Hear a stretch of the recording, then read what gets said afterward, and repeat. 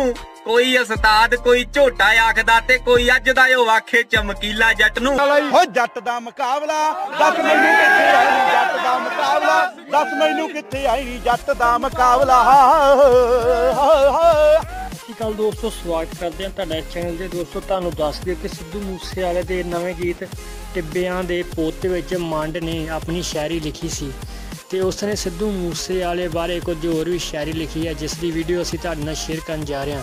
ਜੇ ਤੁਹਾਨੂੰ ਇਹ ਵੀਡੀਓ ਵਧੀਆ ਲੱਗੀ ਤਾਂ ਛੇਤੀ ਤੋਂ ਛੇਤੀ ਇਸ ਵੀਡੀਓ ਨੂੰ ਕਰ ਦਿਓ ਸ਼ੇਅਰ ਸੋ ਕਹਿੰਦਾ ਦੁਨੀਆ ਤਾਂ ਆਖੇ ਅਣਖੀਲਾ ਜੱਟ ਨੂੰ ਹੇਟਰ ਤਾਂ ਕਹਿੰਦੇ ਨੇ ਜ਼ਰੀਲਾ ਜੱਟ ਨੂੰ। ਕੋਈ ਉਸਤਾਦ, ਕੋਈ ਝੋਟਾ ਆਖਦਾ ਤੇ ਕੋਈ ਅੱਜ ਦਾ ਉਹ ਆਖੇ ਚਮਕੀਲਾ ਜੱਟ ਨੂੰ। ਜੇ ਪੁੱਛੇ ਕਿਹੜੀ ਗੱਲੋਂ ਲੋਕ ਇਹ ਉਸਤਾਦ ਬੋਲਦੇ, ਤਾਂ ਪੁੱਤ ਤੇਰੀ ਉਮਰ ਤੋਂ ਵੱਧ ਨੇ ਰਿਕਾਰਡ ਬੋਲਦੇ। ਬੜੇ ਇੱਥੇ ਕੰਨਾਂ ਵਿੱਚ ਦੇਣ ਉਂਗਲਾਂ, ਜਦੋਂ ਗੀਤ ਨਹੀਂ ਆਉਂਦੇ, ਆ ਤਾੜ ਤਾੜ ਬੋਲਦੇ। ਉਹਨੇ ਮਿਹਨਤ ਕਰੀ ਆ, ਕੋਈ ਹਾੜੇ ਕਰੇ ਨਹੀਂ ਕੀਤੀ ਆ ਸਪੋਰਟ, ਕਦੇ ਸਾੜੇ ਕਰੇ ਨਹੀਂ ਕਦੇ ਨਸ਼ਾ ਨਹੀਂਓ ਕੀਤਾ, ਪ੍ਰਮੋਟ ਜੱਟ ਨੇ। ਆ ਗੀਤਾਂ 'ਚ ਐਵੇਂ ਉਹ ਕੰਮ ਮਾੜੇ ਕਰੇ ਨਹੀਂ ਬੋਲ ਪਹਿਲਾਂ ਤਾਂ ਵੜੇ ਨਹੀਂਓ ਬੋਲੇ ਜੱਟ ਨੇ। ਡੱਟ ਬੋਤਲਾਂ ਦੇ ਗੀਤਾਂ 'ਚ ਨਹੀਂ ਖੋਲੇ ਜੱਟ ਨੇ। ਉੱਚੀਆਂ ਗੱਲਾਂ ਤੋਂ ਲੈ ਕੇ ਧੱਕੇ ਤੱਕ, ਓਏ ਕਦੇ ਨਾਰਾਂ ਨੂੰ ਨਹੀਂ ਬੋਲਿਆ, ਪਟੋਲੇ ਜੱਟ ਨੇ।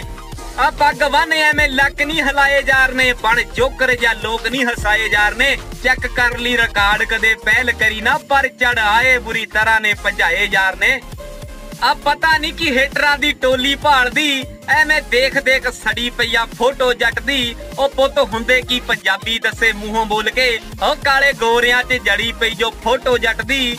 ਸੋ ਬਾਕੀ ਜੋਰੋ ਬਿਨਾ ਲਲਕਾਰਾ ਕਦੇ ਮਾਰਨਾ ਹੁੰਦਾ। ਉਹ ਪੁੱਤ ਜੁਰਤ ਹੁੰਦੀ ਆ, ਉਹ ਹੰਕਾਰ ਨਾ ਹੁੰਦਾ।